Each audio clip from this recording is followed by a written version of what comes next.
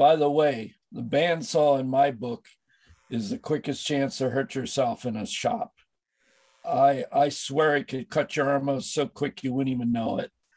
Um, so I, have you been cautious of that or is there any protection against i mean like when you're swim, swinging that around you got a, a foot of teeth coming at you yeah the question was how do you protect yourself while you're using that i love your device i'm going to build myself one because it's always a problem trying to get a circle right and that's a slick way of doing it but by the same token I guess the question is how do we maintain bandsaw safety? I worry more about bandsaw safety than I do table saw. And uh, they don't make any stop saws for bandsaws. Um, I'm not really sure what aspect of bandsaw safety you're, you're speaking about. Uh, in fact, uh, I had a discussion with John when he was here that I had uh, at one point taken the uh, the blade guard off the the the upper guide uh, because it was just the way Grizzly manufactured it. It was binding and pushing the blade guard uh, back against the upper wheel, and so I took it off, and uh, I was running. I was cutting probably about a, only about a four inch thick piece of wood, and I had leaned forward to get more directly over the cut and fortunately, I also have a little uh, LED light, magnetic light up there. And my forehead hit the magnetic light. And I realized my forehead was only about an inch away from the blade. So I could have had a nasty gash on my, uh, my forehead had it not been for that light. So I, I, I modified the upper guard so it goes up and down smoothly. Uh, I've I've only ever cut my hand once on a bandsaw, and it wasn't terribly deep. Uh, that's not much of a uh, an endorsement, I guess, but I guess I'm a bit more reckless around tools than most people. I do wear glasses. I wear hearing protection. Uh, and I more often get a small burn on my hand by reaching in behind to get scrap rather than across the teeth to uh, manipulate something. So, Barry, I was going to ask. Know, uh, what, what kind of bandsaw safety you recommend, Jim? Well, does does yours have a brake on it? I have a rule that I will not reach anywhere into the table while the blade is going, whatever machine it is. And you reached into yours pretty quick. I couldn't tell on the video. So I assume you have a brake that stops it almost immediately. Yeah, I'm, um, again, I'm sorry, I, I can't tell precisely what you're saying. I'm sorry, is my audio not good? Uh, Barry's hearing isn't either, so I'll, let me take that. Um, I think there is a brake on Barry's bandsaw. Um, and I think you're right, Jim, to let the bandsaw coast before you reach in there. I too have only had one bad injury in my woodworking 50, 60 years and that is on the bandsaw. I saw it into the back of my hand uh, in 2014. Uh, and I remember in school I was taught that if you saw the tendons in your hand or chisel them, you were going to lose your hand. I mean, you're going to lose. They can't repair that. Well, that's not true anymore. Fortunately, I was very lucky. A local orthopedic guy sewed my tendons back together, and it uh, works as good as new.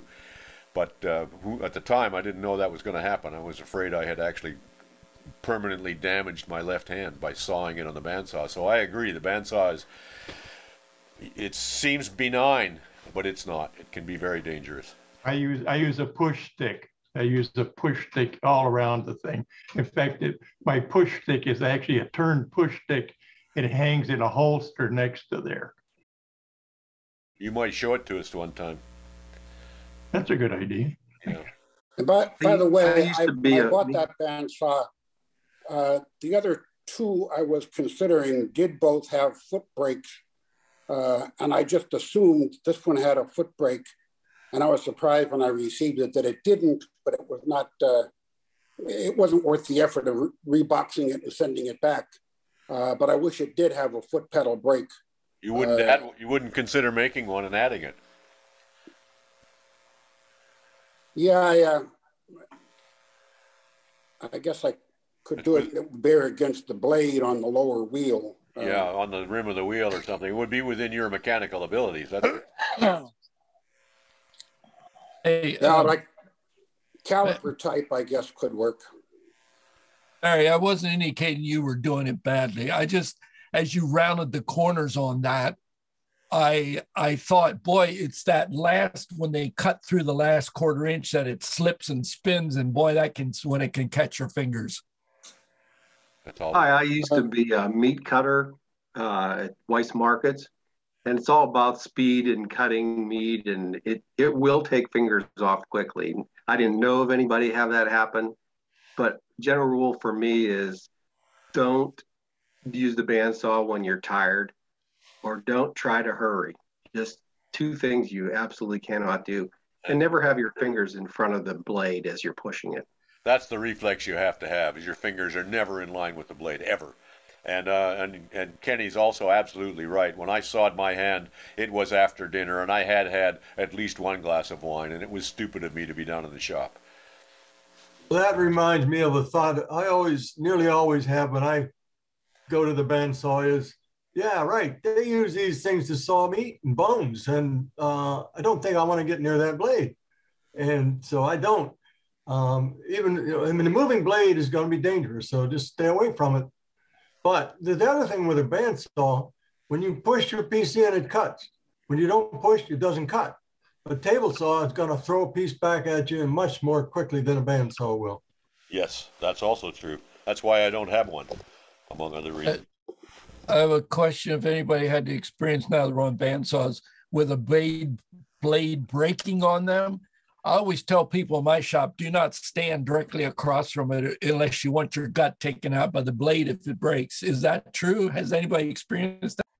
I was going to say something on that. Yes, very much so. In fact, that's why you lower the guard to almost a minimal amount. So it's right down there. But the other thing, that blade can come right out of the machine and I've seen that happen up at the college up here, that that blade can come right out. And usually as you're cutting, it'll start to thump. And when you hear that thump, just get back because it's going to come out of there. And usually we is used. And usually my wife's using it when it starts thumping, so I ain't have no problem with it. But anyway. Uh, so she breaks your bland bandsaw blades, huh? Mm, that's right.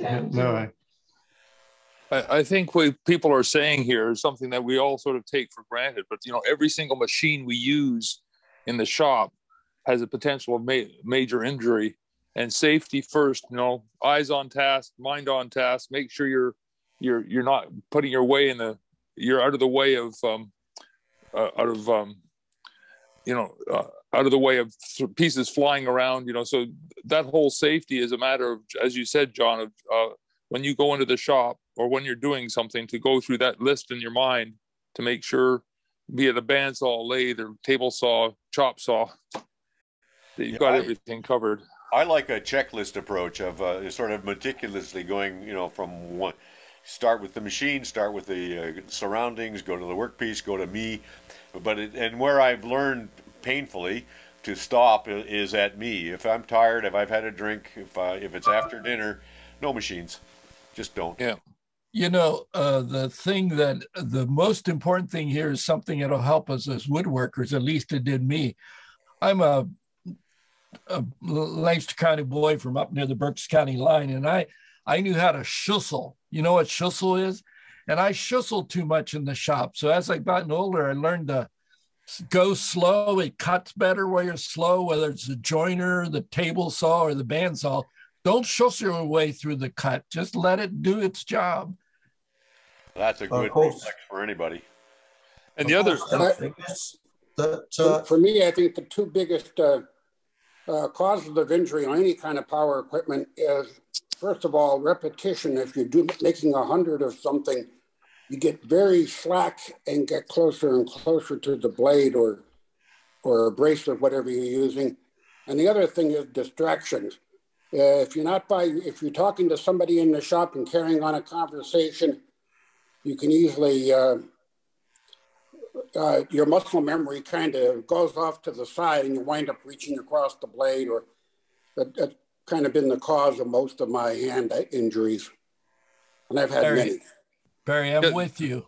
The the second rule I have around machines is do not look ahead to the fence. Keep your focus on the cutting edge.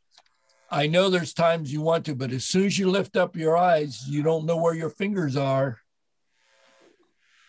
The other part is the other part that people haven't said about bandsaw blade breaking is that new bandsaw blades you always stand back to start, but they are generally pretty dull by the time they're going to get to the point of breaking. And it's always, you know, my grandfather always said that you rarely cut yourself on a sharp tool. It's always a dull tool because you you're pushing too hard, you're whatever. And uh, so if you find yourself putting too much push into a tool, then it means it's time to sharpen it. Back well, off. The other thing that Barry and I experienced making the video is leaving the resaw blade on and then trying to cut a circle. The blade didn't absolutely came off the wheels uh, because you're putting a stress on it that it wasn't made, ever meant to carry. So that's the other thing is change the blade, and it absolutely. doesn't take very long with a little bit of practice. Also, the bandsaw is a very universal piece of equipment. You show a flat cut, that table could be done at an angle. You can do all kinds of things with a bandsaw. When you start uh, getting into other situations, pay attention to where the blades going in and coming out and everything else. It, it just the bandsaw do all kinds of things. Jim, I wonder. I wonder if uh, taking that another step, use Barry's jig and tilt the table saw the table oh, 20 degrees or whatever. It'll take more of the bottom of that of that off. You won't need to use a chisel for it, huh? You can taper it at 45 if you want. I've had done it. It, it works great. But it also is deceiving is where the blade's going in and coming out sometimes.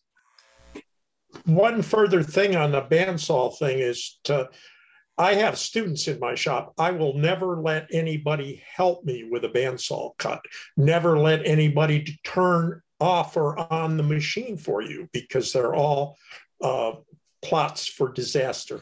And if they're going to be an off bearer, you have to teach them how to do that too. They can't not pull the piece. All they can do is support it. wood shop. Thank God for wood.